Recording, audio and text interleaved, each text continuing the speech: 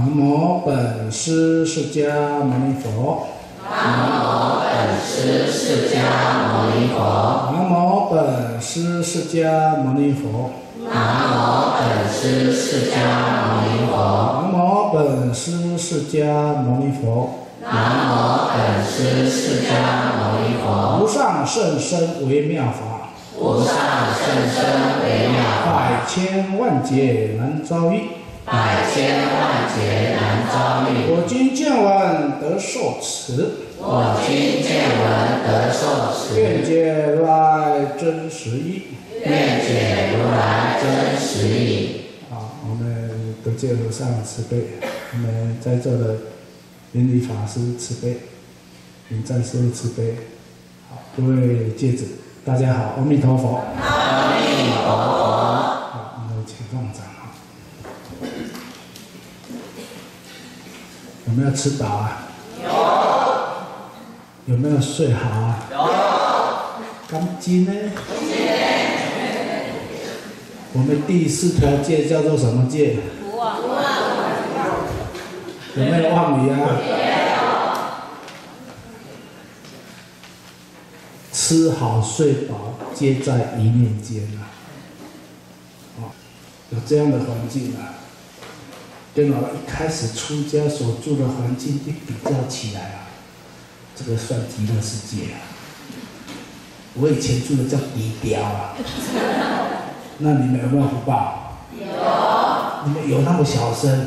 有你哪有得戒和尚刚靠靠信心的哈、我刚出家的时候住的是低调，低调改改造过的，以前的低调啊，要够低造，够低折。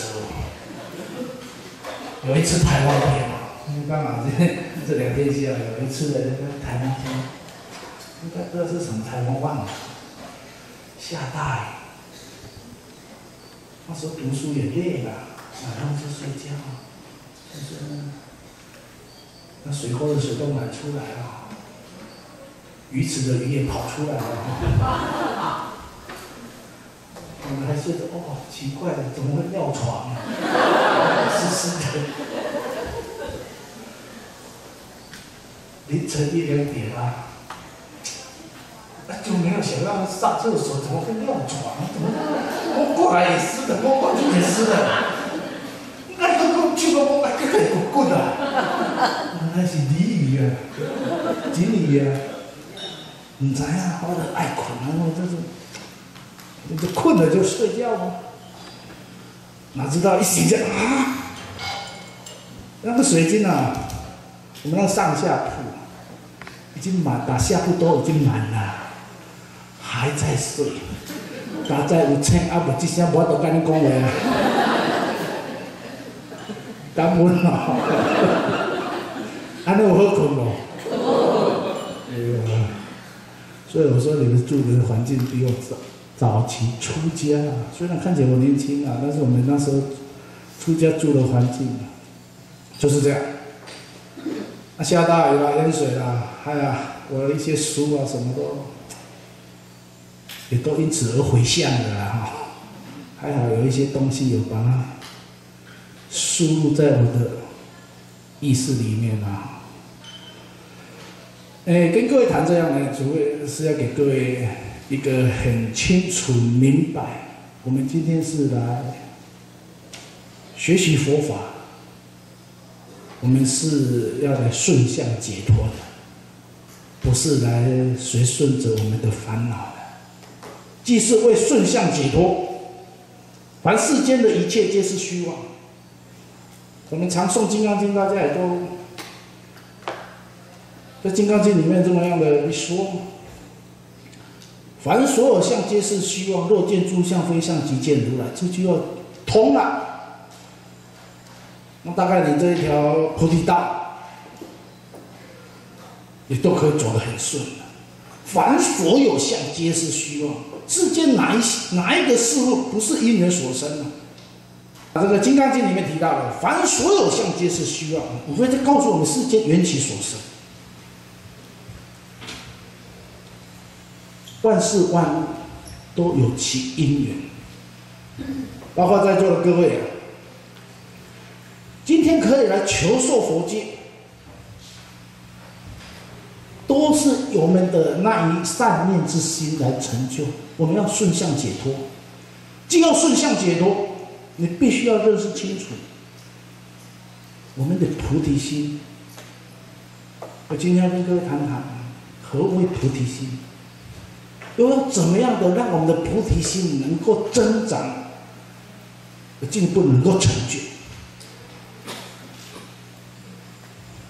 而这个菩提心，我们要用什么样的一个方法？来非常确定的去了解到你所修行的每一个脚步有没有正确。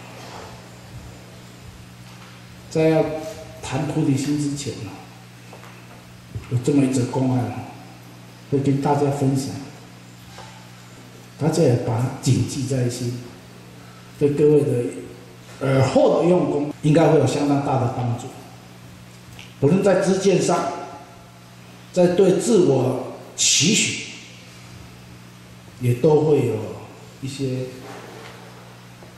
相对待的真善善缘。我们的唐太宗啊，唐太宗李世民啊，啊李世民，那唐代的高僧非常的多。当然，相对高僧辈出，也就会有龙蛇混杂的因缘。因为僧众多了，龙蛇混杂了，有非常优秀的佛教精英。相对的，那时候也有很多败坏佛教门风的也有。那唐太宗贵为天子。他当然非常了解当时的社会环境，包括整个的佛教的生态。那那时候呢，佛教有位大师啊，各位也都听过了，就是我们玄奘大师，是非常了不起的一位我们的三藏法师。他除了到印度取经，这个丰功伟业啊。到现在功不可没。我们现在有这么完整的佛教经论啊要非常感恩我们玄奘大师当时的用心，可以说是用尽他一生的生命，流血流汗走过来的啊。相对他唐太宗呢，对玄奘大师就非常非常的恭敬，也曾经想尽办法要把玄奘大师呢。请来这个朝廷当国师，予以重任。不管用尽世间什么样的诱惑，玄奘大师呢依然保持着他身为佛教僧人，就必须为十方众生做一切众生应该做的事情。他不会因为自己的功名入位啊，乃至因为朝廷皇帝的重用。迷失了，那反正我就是好好做我的出家人。所以呢，皇帝不管用什么样的方法，用比较柔和的态度或比较强硬的方式，玄奘大师啊，依然啊，没有任何的改变他的志气。所以呢，唐太宗呢，反而特别的恭敬这位玄奘大师。我用尽国家的资源，要让你享受荣华富贵，也撼动不了你的自信。可真为法门龙象，了不起。那唐太宗，就问了一个问题了，这个问题啊。唯有我们玄奘大师这种大智慧的人啊，才能够一语道破。唐太宗就问他：“我很想供养法师，我也非常希望供养僧众，但是我听说，唐太宗是这么说的哈，我听说呢，现在的僧众资质并不是很好，有很多呢，拜饭迎风的啦，乃至修行呢，烦烦恼恼的啦。他当然，唐太宗就想啊，他是一国之君啊，要供养僧众，当然就要供养高僧大德啊。个无名小卒，哪哪里看得起呀？所以他就问啊，问了玄奘大师：“我想供养僧众，但是我不知道谁是高僧大德，我不知道谁是有修有证，请问我还要供养吗？”假如有人这么问你，你要怎么回答？要不要供养？要。要怎么样？要理由啊！你是讲要就要啊？要你什么理由？我当然要供养是高僧大德有修有证，你供一个烦烦恼恼的凡夫僧，嗯，真布施啊！真布施，对皇帝而言，他对他而言，他不是要布施而已。恭敬不怕假和尚。这个待会再跟你谈什么叫真假啊？真假。贵为一国之君呐，我们现在民主时代哈，我们可以这样的跟他抵抗啊。前皇帝讲话，还有轮轮得到谁跟他反抗的？要就要，不要就不要。你一句话一错了，可能就人头落地啊！了解意思吧？玄奘大师那时候，假如没有办法用他的智慧去让唐太宗改变他的观念的话，我想那时候唐朝的佛教要这么的兴盛，要用尽朝廷的力量来护持，恐怕不容易。所以我们必须感恩有。那是这样的高深大德，我们捍卫了佛教的信念。玄奘大师，他直接就告诉了唐太宗，他没有马上回回应他问题。他说呢，昆山有宝玉，昆山哈，有宝有块宝玉，你要如何的拿得到这块宝玉？你必须怎么样？铲除了很多的一些杂石、土粒、瓦堆，用水来用什么？然后铲除了一些瓦堆，你才可以得得到昆山里面所保藏的宝玉。换句话说，昆山的宝玉能不能离开？那些瓦砾石堆而存在，可不可以？他还必须依附依附在这个昆山里面，跟一些的土堆杂石和在一起，但是它的本质并不改变。这样了解了哈？玄奘大师就第一个回应了他。第一第二个问题，他说我们的佛像的雕塑。可能是用铜雕的，用泥塑的，可能用木雕的。那现在的科技可能用一些玻璃的哈。他说，不论是用铜雕的，或者用泥塑、木雕的佛像，它它的本质，它虽然是铜雕的，但是因为你的恭敬礼拜佛像，可以让你培养福报，是那个。木雕的铜像呢，给你的培养的福报，还是你自己本身积功累德所修来的福报？好了，你看玄奘大师在引导唐太宗的思维哈，你都可以因为恭敬供养礼拜木木雕泥塑铜雕的佛像而获得福报，供养凡夫身为什么？能增长你的福德资粮哎，可不可以？可以，就是这样。你必须要让他，让唐太宗去谈出可以的理由，这样听懂意思吧？木塑泥雕的佛像，你的恭敬礼拜当下都可以获得福慧资粮，为什么供养凡夫僧，你就不能获得佛法的智慧啊？若无凡夫生，何来的圣贤僧？当然，理念上我们知道凡圣平等布施，可是众生着相啊，那如何破破他的执着？唯有菩提心。怎么样的菩提心？何谓菩提心？我们还得老老实实的按照佛所说，佛所教我们的。凡一切众生之类，我皆定入无余涅盘而灭度之。凡一切众生之类，所有的一切众生，不论是卵生、胎生、湿生、化生，对不对？一切众生之类，我皆令入无余涅盘而灭度之，就是一切众生度尽啊！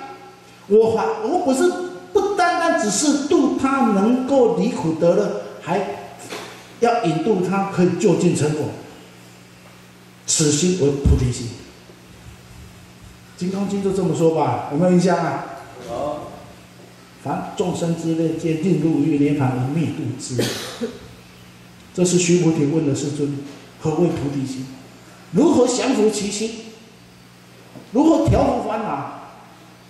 如果善护念，善护持。凡一切众生之类，既然一切众生之类啊。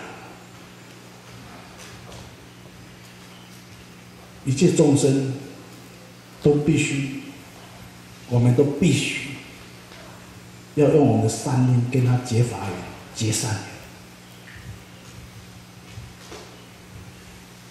因此，从《金刚经》的一个理念上，我们必须非常清楚了解，《金刚经》它一一再的强调，佛法即非佛法，是名佛法。佛陀在《阿含经》里也这么这么说，因为众生的根器不同，佛说一切法为治一切心。佛为了广度一切众生，皆定入无余涅盘的灭度之，所以要广设一切的方法，一切的善巧方法，都是为了让众生得以蒙受佛法的滋润、智慧而去入解脱道，乃至就近成佛。所以很多的方法，我们是用善巧，但是所有的一切善巧因缘呢，不失恭敬心。我们的布施礼拜也是一种善巧方法，我们的念佛回向也是我们修行的善巧方法。但是，假如我们没有这样种种的一个因缘过程来成就，我们的道心是巩固不起来的。跟他的玄奘大师，他可以带领着这么多的僧众翻译佛教的经典。那时候佛教的精英人才很了很非常了不起。尤其唐朝，所以玄奘大师呢，他并没有否认说世上有凡夫身，但是他更清楚地带领着我们。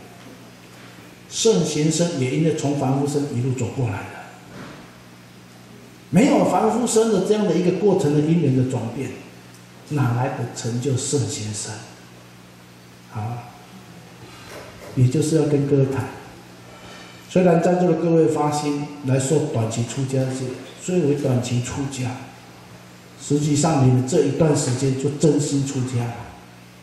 你们在里面生生世世的一个生命之流当中，就曾经种下出家的善因缘种子了，了不起！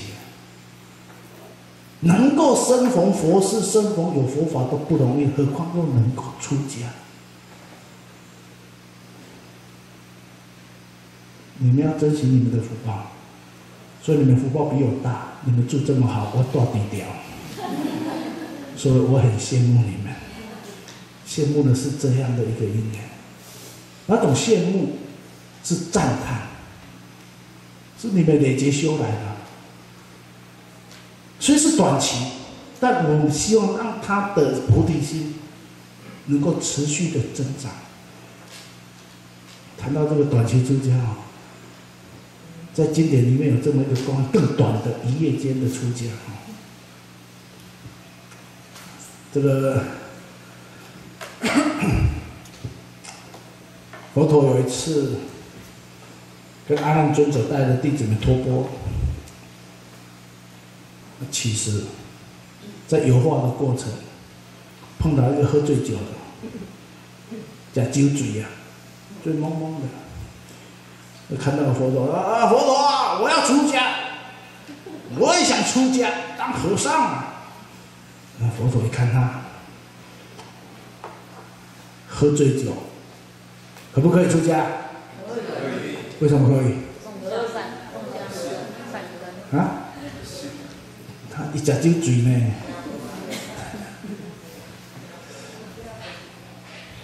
佛一定有他的方法，可出家跟不可出家的条件理由。当然，当时的弟子都觉得他喝醉酒怎么能出家？而且他讲的话醉颠颠的。佛陀就马上告诉阿难，脱下去，把那头发给剃了，衣服给换上，趁他现在还酒醉当中，但欠起来的机会啊！哎，马虎做个心也出来了。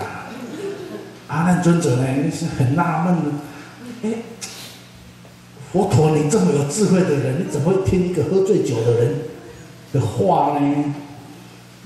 佛当然是大智慧的大觉者，他怎么可能会颠倒？因为因为就是对阿难尊者不敢怀疑，所以知道怎么样？依教奉行，脱下去头发剃了，衣服换上，等他这个嘴就这这这。醉酒醒了醒，嗯，我头发怎么不见了？我衣服怎么变成袈裟了？我才不出家嘞！讲话又还是来，就这么一夜，弟子们就很纳闷了。佛陀啊，你到底糊不糊涂？佛陀说：“我不糊涂。”那你为什么昨天那个喝醉酒的说出家，今天早上又回家了？佛陀就说：“好啊。”恁拢乖乖坐落，讲互恁听。佛陀就请他们全部坐下，坐下，坐下，坐下。师尊啊，就跟弟子们说：“你知道这个喝醉酒的男孩子啊，他无量劫以来不曾在他的生命之流当中种下要出家的那一念种子，头脑清醒都不想出家。”好不容易喝醉酒想出家，要不要剃？剃啦，惊伊哦。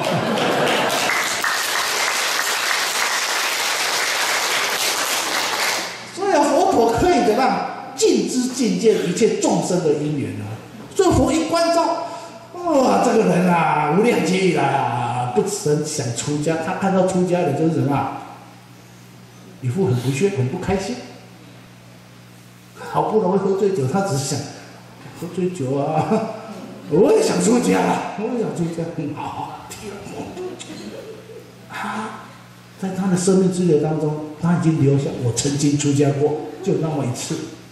可是佛陀就跟弟子们讲，他那一善念的出家种子，将会成为他尔后成等正觉的最大的资料。没有那一念善念，没有那一念善心，成不了佛哎。这一念重不重要？重要。何况里面已经有这么样的好几页的出家，福报大不大？要珍惜。还好你们不是喝醉酒来出家的，你们是清清楚楚、明明白白来出家的哈，真的很不容易，很不容易啊。因此。我希望在座的各位啊，在你们的生命之流当中，这个短期出家，它会成为你生命当中一个很重要的一个资粮跟资助。这个善念，这个善心，会支持着你们，在菩提道上不断的增长。那我们就要来，那我如果让我这。好不容易可以放下所有的工作来这边参加出家的戒会，让他的力量增上，那就是发菩提心。我相信在座的各位很想能够进行说来出家，但因为各方面的条件啊、考验啊，我相信每个人都有每个人的一部经呐，哈，那部经叫做烂经呐。困难的哈，但我们必须排除万难，把那一念顺向解脱的观念，把它掌握住了。掌握住了之后，让我们的菩提心让它增长。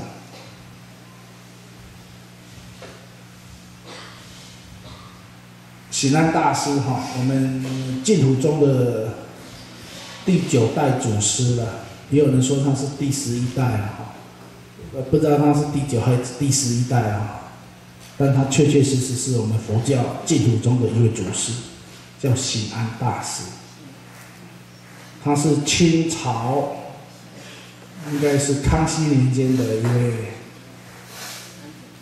出家法师，非常优秀。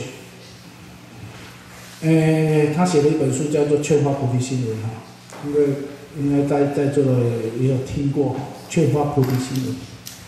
他这个劝发菩提心，他是在怎么样的一个情境之下而写的这一部书？其实这这一部书是后来大家帮他记录下来的，那时候也是一个开始，那也是他对僧众、对信徒的一个开始。然后呢，把它结集的一本书叫做《劝发菩提心文》，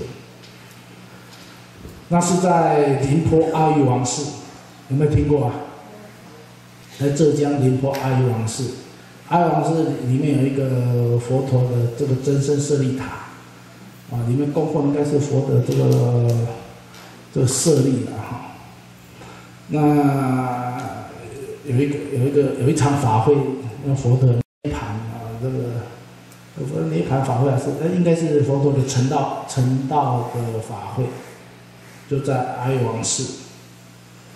那当时僧俗二众将近有四千多人，有四千多人来参与这个十二月初八佛陀成道的这个法会。那时候，喜南大师。他主持法会，他看到了法会当中，僧众有非常优秀的，有非常具足威仪的，相对有很多呢，只是应付的，还有居士呢，很多非常恭敬三宝的，也有一部分呢。只是虚荣心，假借着佛教之名，说我也是佛教的三宝弟子，但他并没有恭敬。所以在那一次的法会啊，那许南大师呢，就为大众开示了劝发菩提心。无非就是要告诉的大家，当他在供养礼拜佛陀真身舍利的时候，他用十种方法来教导我们，来感发菩提心的力量，有十种。我想今天的时间，假如可以，我就慢慢的哈，一个来谈这十种的发心怎么来发心。一个叫做念佛恩，念佛恩故发菩提心。念佛恩，我们今天在座的各位可以来齐聚我们慈法三寺，我们东富禅寺齐聚一堂，大家可以来共同熏修佛法，是不是佛的力量把我们大家拉在一起了，聚在一起了？因有佛法的力量，那佛当然就佛有法有僧，就三宝的人，说念报佛恩，也就念三宝恩。还有我们德界和尚，我们三师和尚，就是我自己在自己的常住道场，有很多事情啊。但是呢，因为德界和尚的一个善念。一个发心，希望成就大家。那个老人家打了电话，哎，林大法师啊，你在吃法是出家的哈？对，是的。哎，这个这个不爱就低了呀，我得做安心的呀，唔知我哪边派康会哈。哎，他说呢，我们想来这个举办个短期出家聚会，你要来帮忙，你可以说不要吗？不行，再怎么忙，除了说是跟持法禅师这个因缘以外。其实我们就是念报佛恩来成就的，因为过去有人成就了我，我们今天可以借此自己的微薄力量，我们来成就大家嘛，大家来共同成就嘛，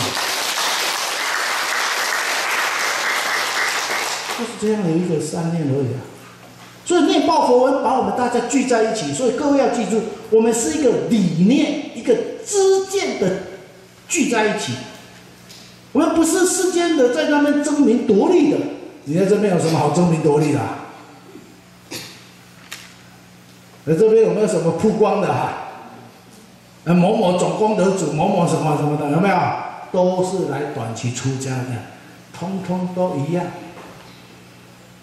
所以我们念念报佛恩，把我们聚在一起，因为佛法的力量，让我们大家齐聚一堂，共成就大业。德界楼上，还有我们众多众多的一个因缘的成就，念报佛恩。你看佛恩浩瀚伟大，成就了多少人？念报佛恩当然是包含了包含了这个法，包含了身，这佛法身三宝具足。所以若不恭敬三宝，我们此生真的是愧对了自己，也愧对了三宝。各位都有经验参加过莲王宝忏吧？有没有？莲花宝忏的这个梁武帝的这个慈氏夫人，她为什么堕入恶道啊？啊，就是因为毁谤三宝。啊，当然还有杀生种种，但是最直接的就是轻信、毁谤三宝，而堕入恶道，成为了大蟒蛇了，对吧？那毁谤三宝的罪重。你看，还得劳师动众的让大家来成就，来去讲帮他消灾。还有，在这样的一个例子当中，非常的多，《无量寿经》，《无量寿经》有没有算过啊？我说《无量寿经》里面，佛的四十八大愿。第十八大愿也有提到，只要众生能够一心称念阿弥陀佛的身啊，都必能得生净土嘛，对吧？唯唯唯唯唯唯就是除唯除这个之外，我没办法。他说呢，回谤大乘者，回谤正法者，跟犯忤逆罪者，我都不了，因为。极乐世界是诸上善人聚会一处，没有那个会毁谤正法者的啦，没有那个会毁谤三宝者的。所以，我们念报佛恩的最基本态度就是我们要恭敬三宝。除了我们在座的各位，虽然你是现在是，我也是三宝弟子，我也受了佛戒，可是你是否真实的、很真诚的恭敬三宝，就看你自己的态度了。各位是不是真诚的三宝弟子啊？是。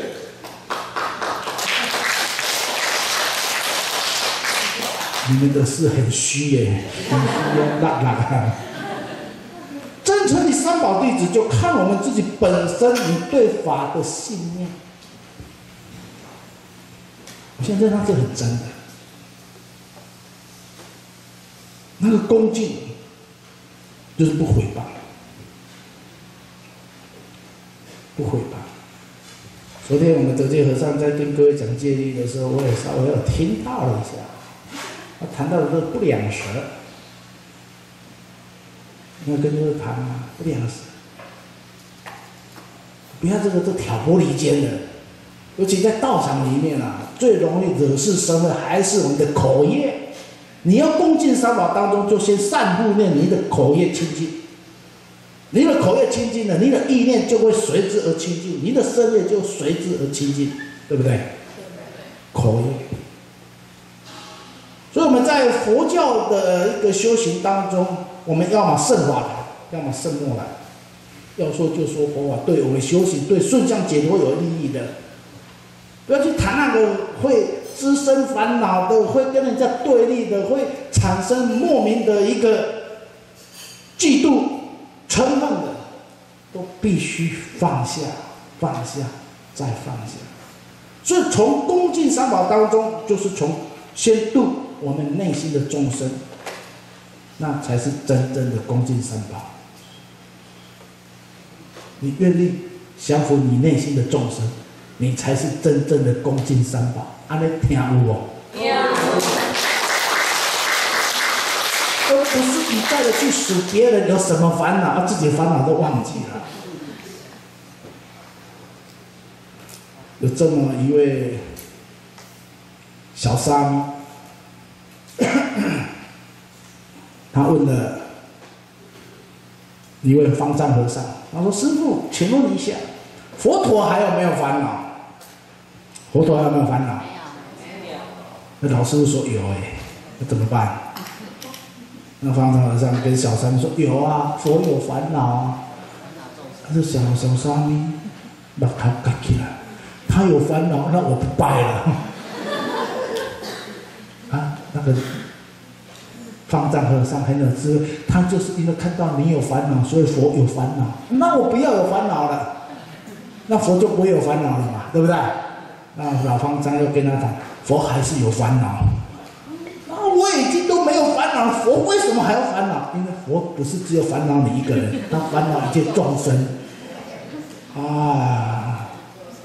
那佛还烦恼一切众生，他挂念的一切众生。但是这个小沙弥又问了师傅一个问题：那佛有烦恼，佛还造不造业？这个老方丈就跟他谈：佛不造业，但佛还是烦恼你造业。听懂意思吧？就像爸爸妈妈在看自己的孩子长大，孩子再怎么大，就怕孩子怎么样走错路，是吧？观念偏了。因此，这个老方丈呢，就跟小沙弥谈，佛。的烦恼是因为挂念的一切众生，佛那个烦恼不是真实的自信众生的烦恼，佛的众生已度尽，自信众生已尽已度尽了，佛不再有贪嗔痴，佛不再有嫉妒，不再有种种种种的一切的烦恼，完全怎么样？顿除清净，无无所得。我们说的顿悟就是这样，顿除清净，扫除清净，物无所得。佛是希望因一切众生都能够顺向解脱，凡所有众生之类，皆定入无余涅槃而灭度之，此心为佛心。所以我们要念报佛恩，我们要跟着佛的脚步，来完成我们的顺向解脱的佛法志愿，好不好？好。念报佛，因为有佛法，我们今天。才感受到人生的珍贵。昨天昨天和尚也跟各位谈啊，因为在这个人生具足的时人生，才得得受佛戒嘛，对不对？这天上的天人还很羡慕我们呢。第一天跟也都跟各位谈过了吧？哈，天人很羡慕我们，我们可以受佛戒，他受不了佛戒啊，他做人福报太大，没有受佛戒。我们有此色身，我们有此色身具足，一定要好好的珍惜，念报佛恩，因为有佛的开化、开导，才让我们认识到佛法的珍贵，我们才知道人生难得经历得，佛法难闻经历闻，所以我们要把我们内心的众生啊度化清净。尤其在我们的修行生活当中，我们的烦恼很多来自于我们的比较跟嫉妒，嫉妒心。这个嫉妒心呢，它就是一种无始劫以来的业力。业力啊，我们把它参，我们把它举例像一个风，风你看不到，可是它有感觉，对不对？风从哪里来？风从因缘所生而来，可是这个风有凉风吹起来，在我们一吹起来就感受的很凉快。然后这个风是热风，你吹起来就怎么烦恼？你吹起来就有很多的一个烦躁不安。这个风假如说可能更巨大的，像是台风，它可能会破坏了我们的整个的大环境，也可能会造成了我们生命财产的危害。它就是一个业，所以业有所谓的善业跟恶业。这个风，我们的口业一动，风就动；心念一动，因缘就会具足而来了。所以我们要保持的善念，起心动念之间呢，都跟佛法相应。圆觉经就这么说了。以一刹那心相应，般若之一切法。我们要刹那相应的都是佛法之见，不要去顺着世间世俗的那个想法。你顺着世俗的想法，你刚好是跟你的烦恼在做朋友，你要不自知的在造业。所以我们要让我们这个风是一个非常宁静，吹起来的风是一种凉风，是一种和风，是给我们感受到是一种很温馨、很安定。很温馨，很安定，所以要念报佛恩发菩提心，念报佛恩发菩提心，因佛法的力量，佛法的一个信念，让我们齐聚一堂，让我们要共同成就的，就是佛道。我们的目标，今天在座的各位为何而来？清楚吗？为什么要来这里？为解脱。你你是来躲干呢？度假不食较好，不多较好啊？为何而来？还有没有其他的？成佛道。这不是在选择题嘞，那不是是非题嘞。这不是选择题，没有一就有二，没有就三。随着佛陀的脚步。记住，我们为成佛而来。我们是受佛戒，当然是为成佛而来，没有任何的理由。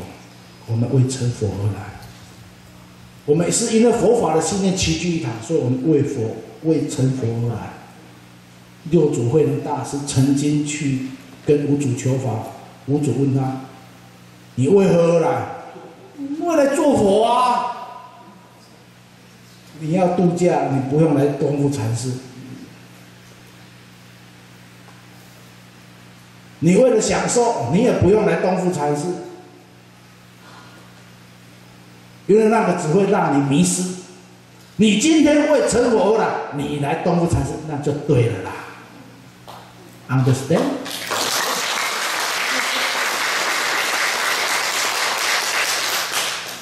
我不是被贪恋的破心啊，我是希望大家能够正念具足，为成佛而来。好。我们这堂课，就先到这里哈。